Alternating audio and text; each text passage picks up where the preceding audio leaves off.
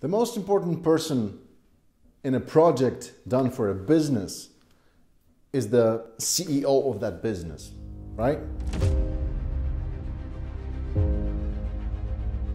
Welcome to 99 Grit. My name is Andy, and it is our vision here to inspire you to chase your dreams and turn those dreams into tangible design careers through learning new design skills and being accountable. Today, I wanted to talk to you about the stakeholders in a project. Uh, I undertake this exercise regularly with the business people, specifically at the very beginning of the project to fully understand what are we talking about, who we should be talking to as far as the customer base is concerned. And we've talked about this a little bit in our previous vlogs as well.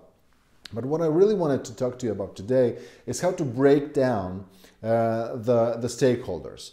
Uh, each project has plenty of those because each project should be really having an impact on some of those people, some of those companies, and on specific um, areas of the business as well. So, to each business goal that you're trying to achieve is a whole list of stakeholders attached to that business goal, which you need to map out to make sure that we're talking to the right people at the right time in the right context.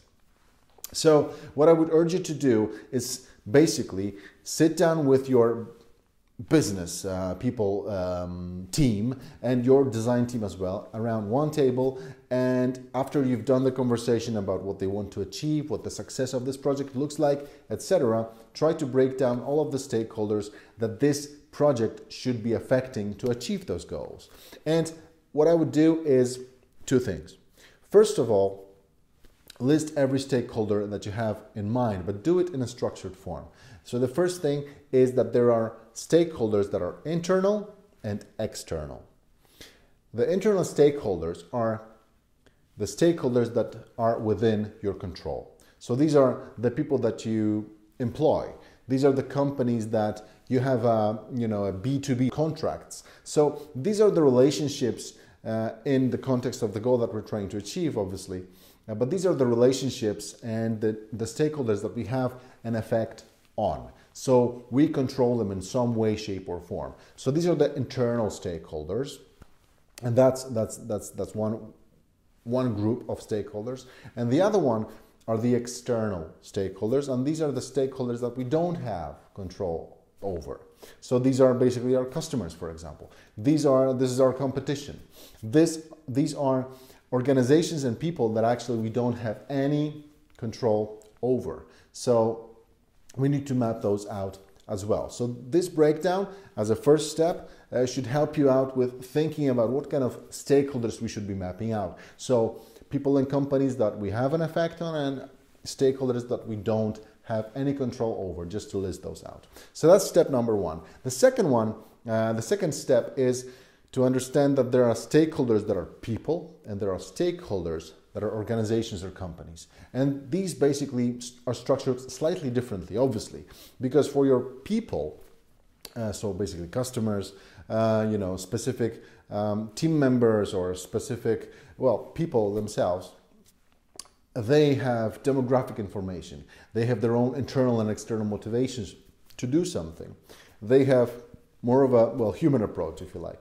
And for the second stakeholders, what I usually break down uh, for the stakeholders that are actually organizations or companies, um, they have structural information rather than demographic information. So, so they're you know a small company, a mid-sized company, a huge, large company. Uh, so, so I'm trying to break these down as far as you know where they're located, are they global or are they local, and how big those companies are, and what is the effect that they might be having on the business goal that we're trying to achieve. So, to recap, to map out the stakeholders uh, make sure that you list out all of the internal and external stakeholders, so the ones you control, the ones you don't. And also remember that there are stakeholders that are people and there are stakeholders that are organizations. So I hope this is useful. Let us know in the comments below about these videos uh, if we're bringing any value at all. Um, I hope they do. Uh, join up to our um, Facebook events every Monday, 10 a.m. CET.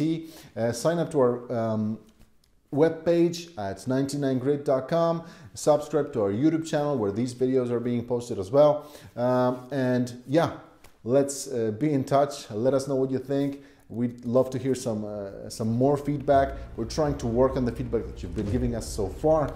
Uh, so we're tackling that as we go along.